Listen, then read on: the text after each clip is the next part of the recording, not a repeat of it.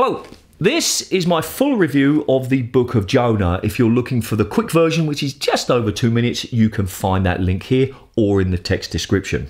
Now, this was uh, released in 1972 by Jonah and Clive Everton, and essentially it's a biography and training diary all in one. Now, Jonah didn't actually write his sections. He spoke with Clive, they were recorded, and then essentially transcribed into the book with very, very little change. I paid £8 for this one, which is a lot more money than you will need to pay for it. I paid it because it was in very good condition and it was a first edition and it's hardback. I like hardback books. You can buy this book for £2 plus postage from a website called abebooks.co.uk. Link is in the text description, so it's very easy to buy.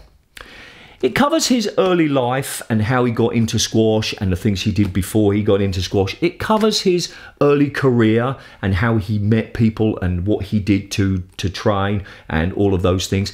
And it also talks a lot about how, how his status as an amateur was causing him problems in his mind and he wanted to become a professional and he wanted to take the game to a new level. Because, in case you don't know, Jonah um, really did change the game. He changed the way people thought about it from a, a tactical playing point of view, but he also changed it from a business point of view as well. So he talks about those early things. There's uh, lots of talk about something called the Barrington Circus, which is this incredible idea that he had instigated, started, paid for where he took five prof- uh, not professionals, sorry, five other players, and from the middle of August to the middle of January, more or less, they toured the world playing exhibition matches, giving clinics, just promoting the game. Now, they made sure that they were in the right place at the right time for the major championships. Um, I don't know if they were actually away for all of that time or they came home for some of it, but I got the impression that they were literally away for, for all of it. And he had such high hopes for that idea. He thought that other groups of professionals would be doing the same. Because at the time, the idea of making your living just from playing tournaments was outlandish. There weren't enough tournaments, there wasn't enough money in the game. And the key factor there, as we'll see when I look at all of the details, is because without glassback courts, without glass courts, you can't get enough people to see it. And even with television, it just didn't give the essential part of the game, the uh, dynamism of the game. So he talks about how, you know, he hopes there'll be more of these touring circuses. He talks about the establishment, which what we mean by that is the group of people who were running squash, and he attacks them. There is a scathing attack on how they are limiting the game, how they are stopping it going from amateur status to pro to open status. I was going to say professional, but open status. Now, this was a big problem at the time, and tennis had gone through a similar period where there was a clear distinction. If you were a professional, you coached in a club and you maybe played some exhibition matches and you got some money. But if you were an amateur, you had to have a real job. You had to have one or the other. You couldn't be both. Um, whereas nowadays, the idea is crazy. You can just go and do things. And in fact, the only sport I can think of that has um, amateur and professional separated nowadays is boxing. I don't know. Maybe maybe you know of others. And apparently, from what I've read, there is a good reason for that, and people want to keep it. The difference between amateurs and professionals is very very big, and in this case, you can get really hurt. Whereas in other sports like tennis and squash and table tennis and badminton, doesn't really matter. Doesn't matter whether somebody works in a factory and then plays tournaments or whether they train all day. They're all allowed to play each other. There's uh, other interesting talk when he talks about lots of tournaments and about matches and about rivalries. So there's so much going on in there. Everything's easy to read, even though that there's essentially two authors. Switching between the two is not a problem at all. Both of them write beautifully, and it's easy to read. You, you don't feel as though that you're struggling. You're it's like lists of names and people. It's nothing like that. It really is just a relaxing read. Do I recommend you read it? I do. And I don't really want to be recommending every single book because I won't be doing that. But even though you might not be an aficionado of the sport, even though you might not want to know all the minutiae about the history and all, all, all of those things, even though it is a very old book, what are we talking? We're talking 50 years old almost, 48 years old. It's still interesting enough the way he explains things that even casual players would probably enjoy reading this book. I, I, I feel confident in recommending that uh, a player who enjoys the game would reading would enjoy reading most of this. So yes, I do recommend it. So what have I got for you in the next book video? I've got this. This is the history of squash. Whoops by James Zug. This is a very detailed book about the history of squash. So I'll be talking all about that in my next book video. So let's start the flick through. Well, the first thing that I want to talk about is right in the jacket cover, and it says here, um, which could overtake tennis by the end of the of the 70s as the most popular of all games for two players. Can you imagine the confidence and the ambition that they had at the time? They really thought that squash was going to be bigger than tennis or badminton or table tennis or any other game. And I love that sort of optimism. It's so cool. All right, moving on. So here we go. We're on page 16 and he talks about you must practice with maximum discipline. The satisfaction comes when you play a good match and you know it's because of what you've done. Now, that sounds very obvious. You work hard, you get the result. But too often, people think about the match play and they forget all of the hard work that goes into it. You really have to put the hard work in if you want to play well. I make videos for people who really want to improve. I'm very happy for the people who just want to play squash once or twice a week, don't want to do any other training, they play squash and they love it. Great. I'm so happy that you do that. But if you really want to improve, you've got to put the work in. So that's a very clear idea there. Next one. All right, next page. Uh, at the top here, page 47, it talks about how Cam Nancarrow, Nancarrow, sorry, uh, funnily enough, turned out to be the player who gave me more trouble than anyone. And that's often quite possible that there's one player who is not necessarily better than you, is not necessarily better than anybody else you play, but his or her style is one that clashes with yours. One that you just can't seem to work out what's the best way to play this player. Now, you've got a couple of options. You can focus on yourself, focus on what you do well, and do that to the best of your ability, or you can consider changing your style to match his or her style. When I say match, I don't mean the same style. I mean, do something that counteracts what they do really, really well. Now, that's maybe a time for another video, but you do see that quite often. But much more interestingly, uh, a few lines down, it says, When I next played him 18 months later, he was a different player. He had far more deception, hit the ball well with his body, and knew much more about length. Now let's look at those three. Um, deception is something that I need to make a video about, and even club players can introduce in their game. Trying to make a shot look different, or at least disguising it so it all looks the same. That can really help. The point of contact could be earlier, at the normal time, but uh, with your racket head behind, so it looks like a straight drive, but it's a boat. Lots and lots of options, and it really can make a difference. And the second part is connected to that. He hid the ball really well with his body. Now, at the back, it can be done. You can just come around a little bit more, either forehand or backhand, so that the point of contact is covered by your body, if assuming your opponent is on the tee, he or she can't see that. And that little fraction of a second of indecision or doubt can make a difference between hitting a good return and them hitting a weak return. Now, at the front of the court, that's even more useful and more obvious. If you go directly to the ball, although you should be going in around if you can because you'll hit the better shot, if you do go directly, if you can cover the ball with your body and they can't see what shot you're hitting, they've got a lot less time, and I say a lot less time in terms of how much time's available to see. They've got less time to see what you're going to do, and they've got less time to make a decision. So hitting, uh, covering the ball with your body can be a really useful thing. But for me, the most important part of that sentence was he knew much more about length. What can you know about length, you might ask? Well, you can know about the different speeds that you can hit the ball at different heights and whether you push it, whether you slice it, whether you hit it flat. There's a lot of variation in length. And yes, it's always nice to think that you can hit great shots to the back. But as I've said in one of my quick squash tips earlier, hit every shot at a different speed. Because if you hit the ball at the same speed, irrespective if, it, if it's a really good length, your opponent becomes accustomed to that. And you might say, yes, but then when I throw in the other shot, it catches them by surprise. You could argue that.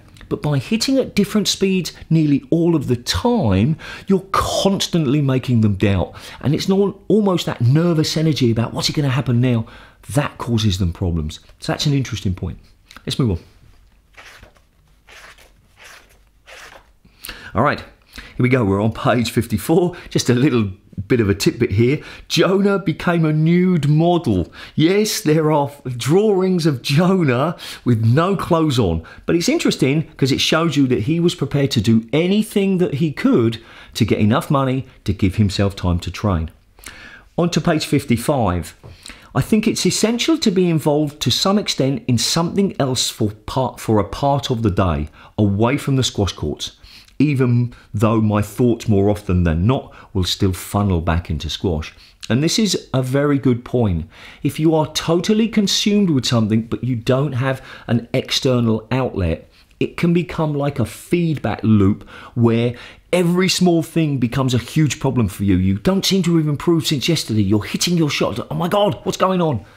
Sometimes you just need to get away from the court, you need to forget about squash if possible, and you need to do something else. And that's true of all standards, of all types of players, and it's especially true of young professionals. You cannot be totally obsessed, you need some outlet to relax. It will make your squash better. All right. Here we go. We're on page 58, and this is talking about um, a match that he played against uh, Aftab Taleb um, and he's talking about how he was winning and then this particular player started to do things that we've all probably encountered people bumping into you people you know taking too long looking for a tissue oh i need to change my my racket because the strings broke all of those kind of things. But the part that really interests me is he split his shorts he cannoned into me he continued to hit me with the ball I think about 13 times in all by the end of the match. 13 times! Can you imagine that? You get hit once, and there's like, you know, seriously? You know, please don't let it happen again. 13 times in one match. So the next time somebody hits you, put it into perspective. All right, next page is page 60. Here he's talking about playing in a very important tournament, and he said, I had a dose of flu at the beginning of the championships, so I was lucky that the circumstances favoured me. And the point I want to make here is humility. At some points, you can't assume that you're the best, you've trained the hardest. Sometimes luck plays a difference, and in this case, he, he was ill, but things worked out to his favour. You need to stay humble. Next page. This is page 62. This is talking about practice, practicing um, Azam Khan has sharpened him as a match player. Now, we always or we often talk about something called match fit. No matter how much you train, no matter how much practice you do, no matter how many drills you do, it is not the same as playing a real serious match. So that's something that you need to always bear in mind that if you're working towards uh, a, a particular tournament, try to see if there's a tournament before that's not too close but not too far away to allow you to assess your match readiness.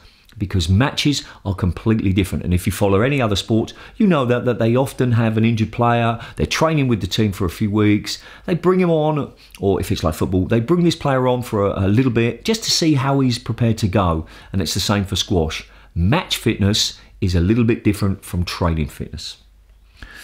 All right, on to the next page, 63. And here he's talking about how he was inveigled, which means he was sort of like forced into playing his game. And that often happens as well at all sorts of level. Um, uh, I was inveigled into playing his game, hard hitting to the back of the court, instead of varying it with chips, lobs, and so on. So this is talking about don't let your opponent dictate what happens to you you can play different types of shots. If he's or she's hitting the ball hard and you're running around and you're hitting it hard back, change it. If somebody's hitting the ball slowly because they need time, try to rush them. Don't be bullied into somebody else's game. Next page, page 64. This is a psychological point here. This is what he's talking about after he won uh, the first major tournament, the first major championship for, for the first time. And he says, I felt that enormous cavern of anticlimax which seems to hit one afterwards.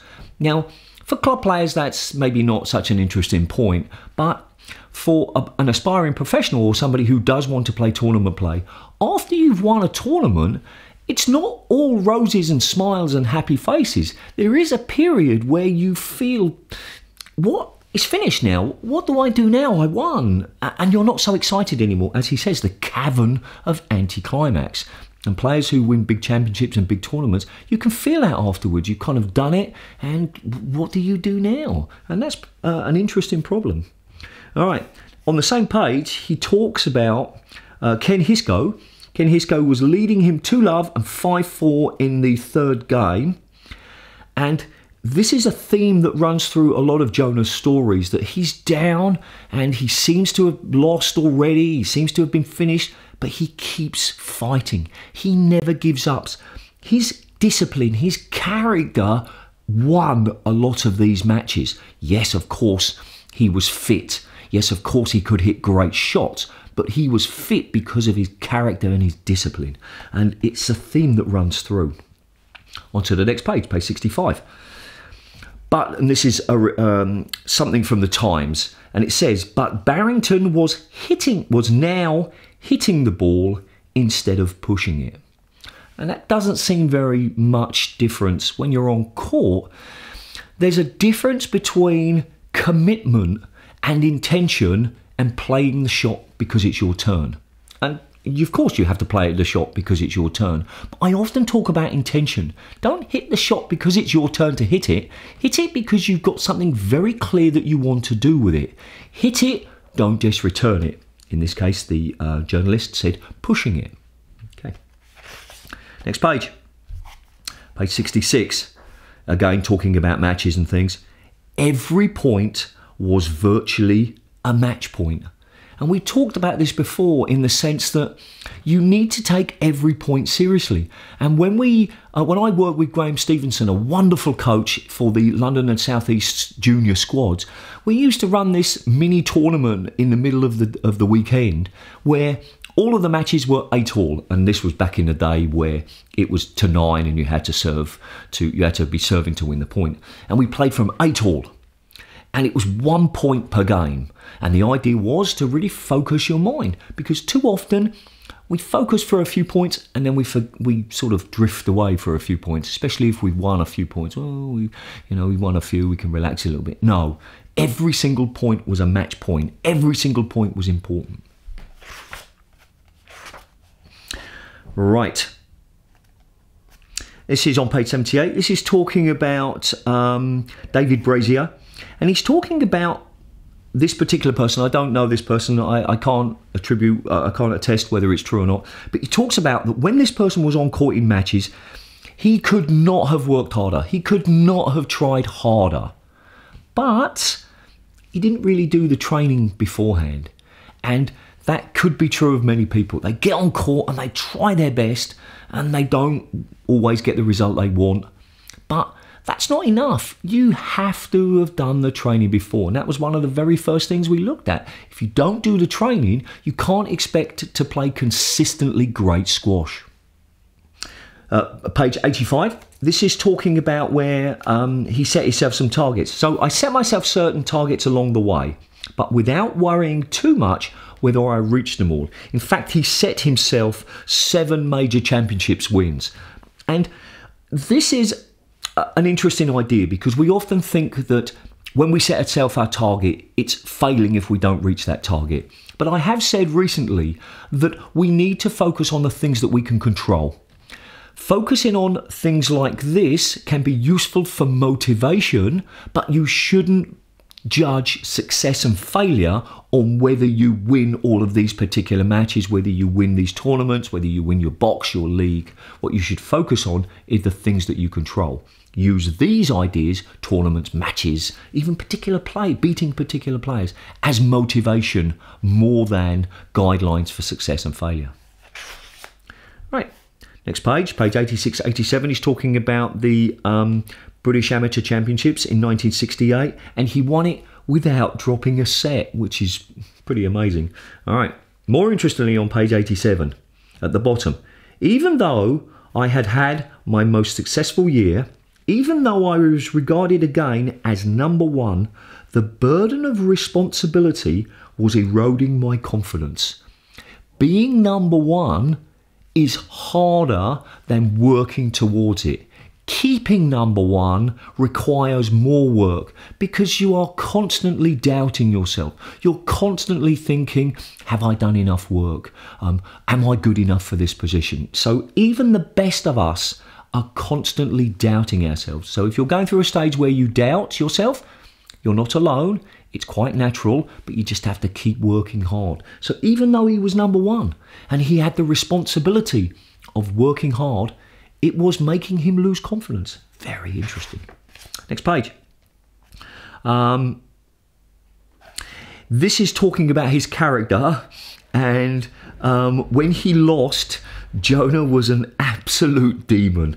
He said, I felt a grievous sense of injustice and bitterness, and I hated all around me. Now, I'm not suggesting that you have to do that to win matches, but it shows the depth of his hatred of losing. And that was what kept him working hard. Now, I'm not suggesting that you have to be the kind of character that absolutely hates losing and you have this bitterness, but it just shows you to be number one, you've really got to use all of the things that you've got. And in this case, it was this complete dislike of, of um, abhorrence of losing. All right. Next page, 89. He produced his most disciplined squash at the right time. And this is the mark of a very great player. So I can't argue with Jonah on this that when the time comes, you have to do what's necessary. And if you don't do it, then no matter how much you've trained, no matter how well you played in earlier rounds or in earlier part of the match, when the time comes when you need to be most disciplined, if you don't, you have fallen short. We're not talking about winning or losing. I'm not saying that if you don't win, you won't be a great player, but if you lose and you've given your best and you've played disciplined squash, well, what more can anybody ask? But if you get to the point and you're not taking it seriously or you play these stupid shots, you're th- thoughtless, well, that's a shame. Next one is some photos. Um, what is interesting is how similar both of these photos are. It just shows you how similar the techniques were um, from all of these players. And I didn't know that Mo Yassin was number one. I was lucky enough to spend some time with Mo and his son. Um, uh, some, he gave me some coaching. Um, and it's interesting that um, that this happens. In fact, earlier on I talked about Aftab Talib, but it was Abu Talib, so I apologise for that mistake earlier. But lo- notice how similar they are. All right. All right. Now, Page 99 is talking about uh, the discussion when squash was going from amateur to open. Open means that professionals and amateurs can all play, you don't separate them, and how much he was fighting to, to get this done. And there's a, quite a lot of that in this book. So, this is a, an interesting an interesting thing. Um, and it talks about um, the game has boomed, exploded, become popular. Um, to such an extent in recent years that there have inevitably been many abuses of the rules concerning amateur status, and there will be more until the game becomes open. Now, nowadays we don't even most youngsters and most people will, won't even think about that. But back in the 70s there was a split and i think tennis was the same a little bit earlier. There was this professionals and there was this amateur status and you were a professional where you worked at a club and you maybe played some exhibition matches and you did some things. An amateur amateur had to make a living from other things. Nude modeling was that example. And being a milkman you know working in a factory all of those kind of in an office. Um, and nowadays it, it's it's everybody can play everybody in fact, the only sport that I know, and perhaps you can correct me if I'm wrong, the only sport that I know nowadays that still separates professional and amateur is boxing.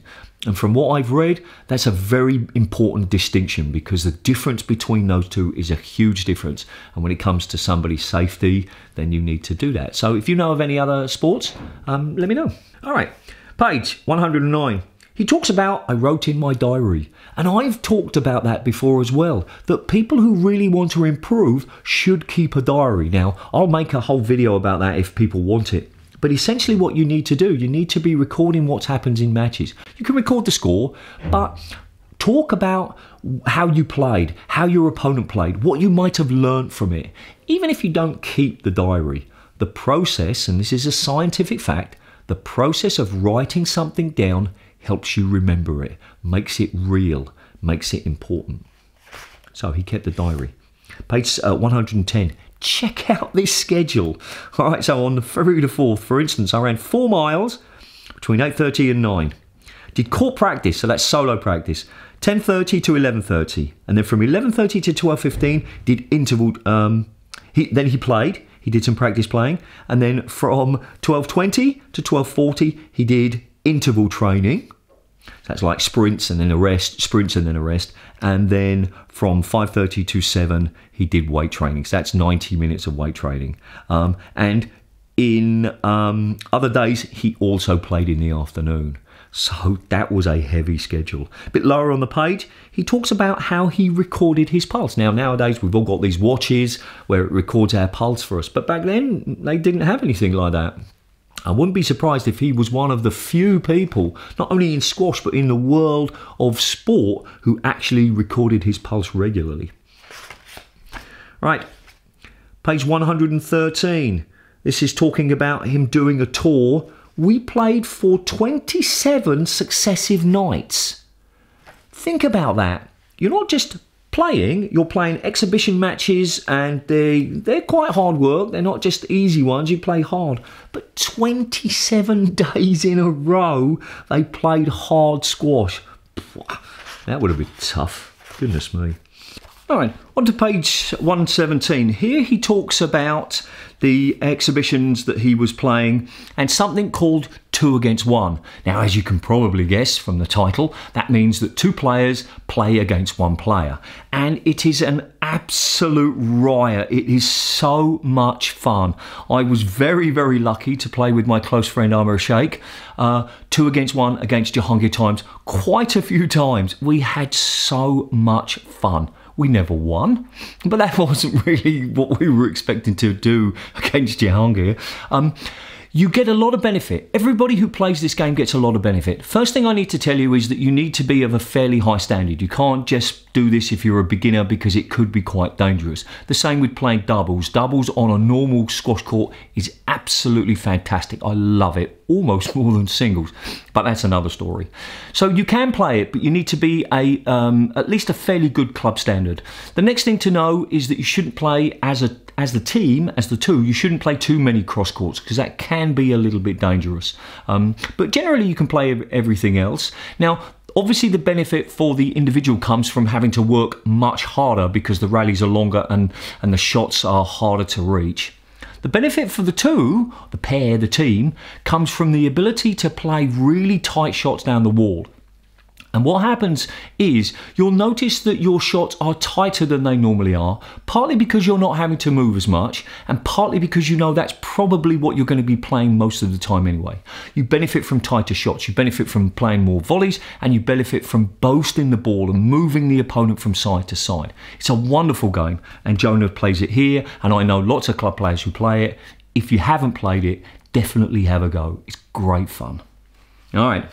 Next page. Next page is the uh, 119, and here he's talking about Japan, how he feels that Japan will be really successful. And he says, and he says, success came to a spectacular degree in Japan, and where there were only three courts. So that must have been an incredible experience. There are only three courts in the whole country, but he really feels it was spectacular success. They must have had a really good time. And he talks about Japan a little bit later. We'll see. All right, moving on. All right, this is the bottom of 124, 125, and it says you judge a man's standard on what he does in major competition when the chips are down and the pressure on. The chips are down is a, phrase in English which means when you've got the most amount of importance to something. It comes from gambling, um, you know, like casinos or playing poker where you put all of your chips on the table. My chips are down. I'm committed to this championships. Now, from a club player's point of view, I want to stress that success should be how much fun you have and how you reach your level of talent. Okay?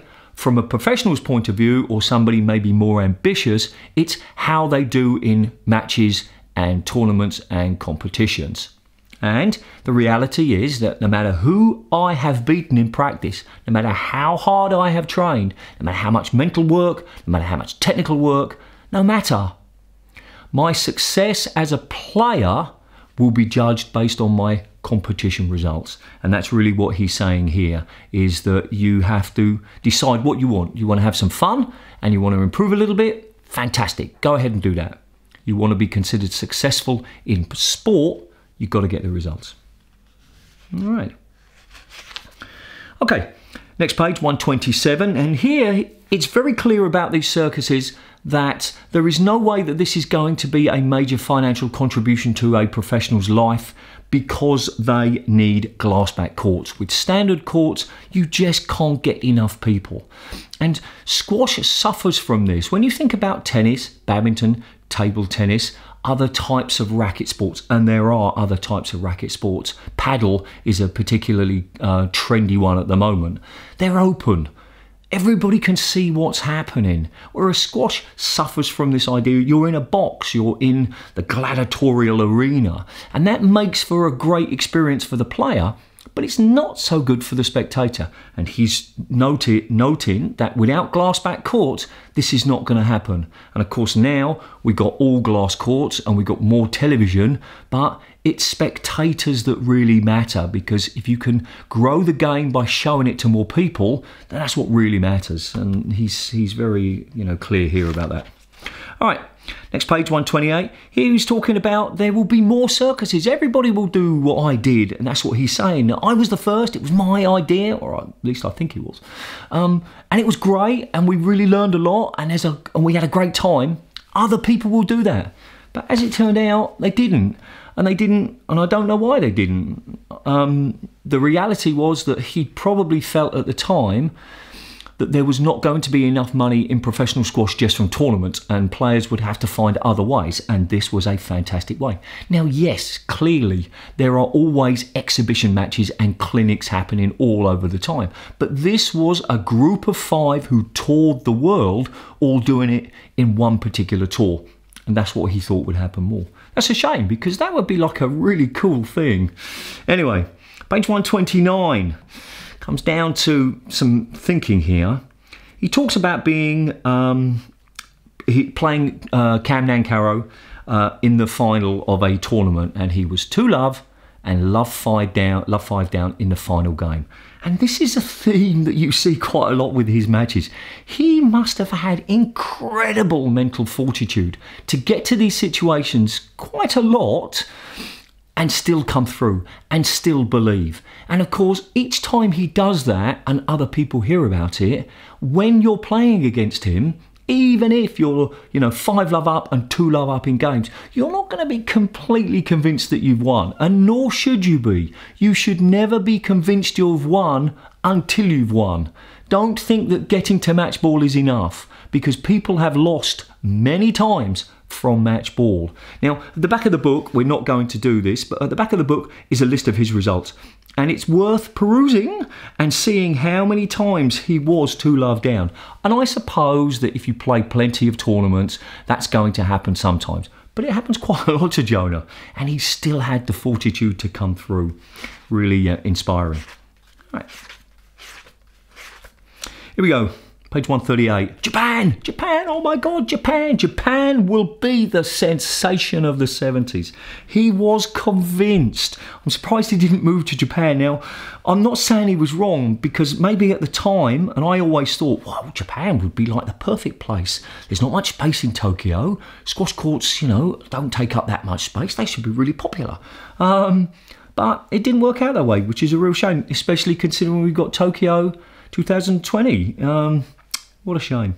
Now, something maybe more uh, important here is uh, in a little bit lower down in 138, he talks about how he recognises that his contribution to squash is going to be the tremendous emphasis on fitness and match preparation. And of course, it is. He changed the game in this regard. People realised that if you want to be the best, you've got to train hard. It has to be a physical game. And all sports are physical. But if you've played squash, you know how physically demanding it is. He also goes on to mention that he feels Geoff Hunt will be the one with the recognition for contribution towards a more technical, tactical game and how he maybe changed the game from a technical point of view, better technique, and the way he played it as well. So that's quite an interesting thing. All right. Now, this is page 146. It's talking about uh, changing the rules. And one of the things that they were talking about was they were going to penalise players who stamped their foot just before they hit the ball. But more importantly, just, you wouldn't be allowed to bounce the ball before serving. What?